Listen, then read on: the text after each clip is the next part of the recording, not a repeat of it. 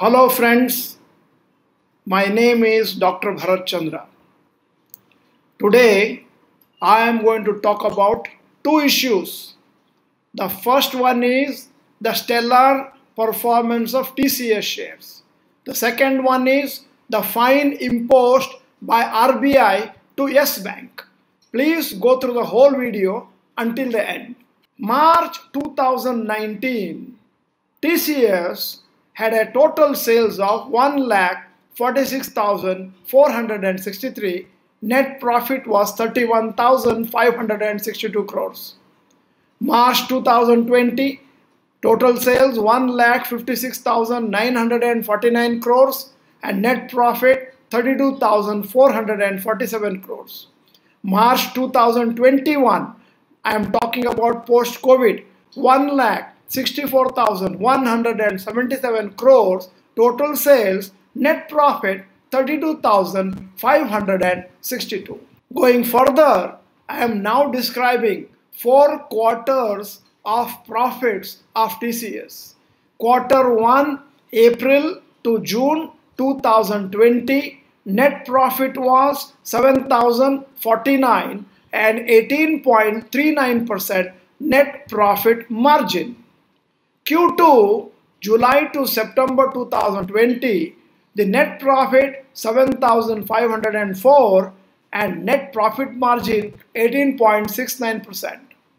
Quarter 3, October to December 2020, all this despite Corona, the net profit 8,727 crores and net profit margin 20.77% and quarter 4 as recently as January to March 2021 the net profit 9282 crores and net profit margin 21.23 and you can see in the table the net profit margin consistently going up over four continuous quarters which is a very good thing to happen for any company. Now one more interesting thing.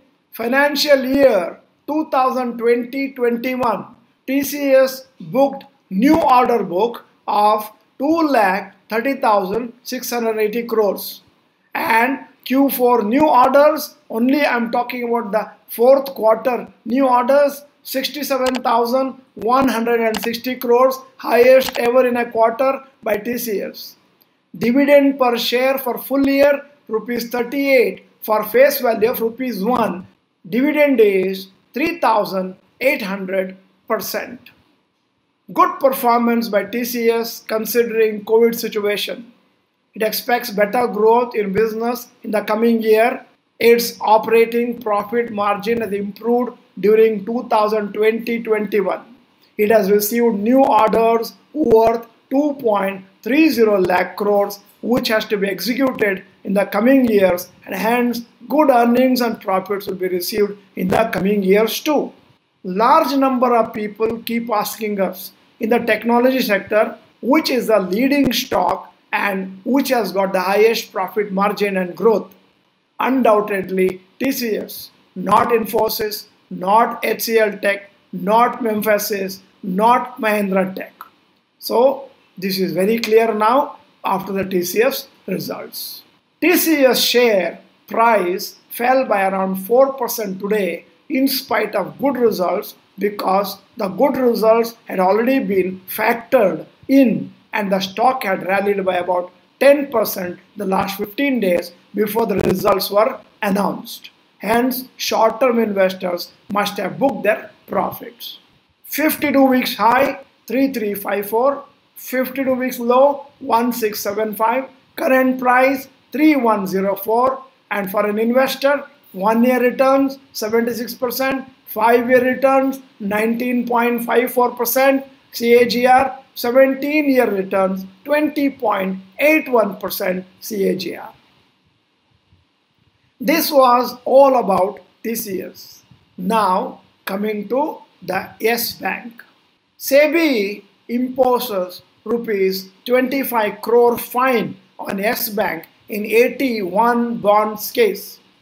SEBI imposed a penalty of rupees 25 crore on Yes Bank and three senior officials of the bank for influencing certain individual investors to shift their investment from FDs to risky AT1 bonds, that is, additional Tier 1 bonds. SEBI had received several complaints from investors.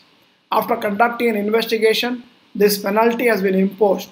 These AT1 bonds were sold to retail investors between December 2016 and February 2020. Face value of these bonds was rupees 10 lakhs and it was mainly meant for institutional investors who are well informed. But the bonds were sold to retail investors who did not have risk appetite. Investors in Yes Bank AT1 bonds lost their entire investment when Yes Bank almost collapsed in March 2020. The government saved the shareholders and ensured that the share price did not become zero with the intervention of large number of leading profitable banks.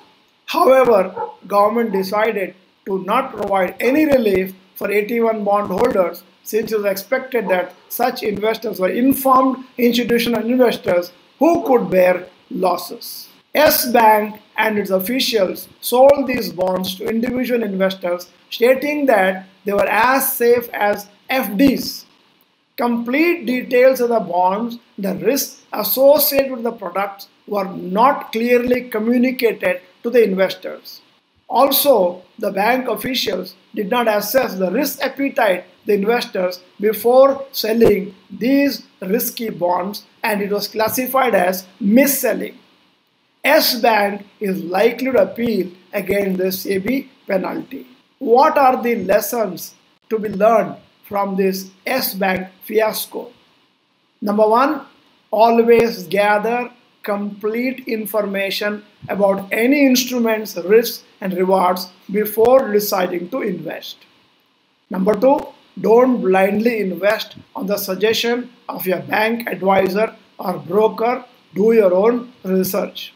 Quite number of our students keep calling us, sir, our bank manager told us to buy this mutual fund, this particular bond, etc. Kindly do your own research.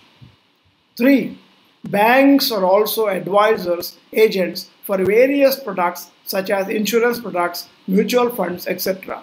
They have targets to achieve and hence recommend various products without checking risk appetite of investors.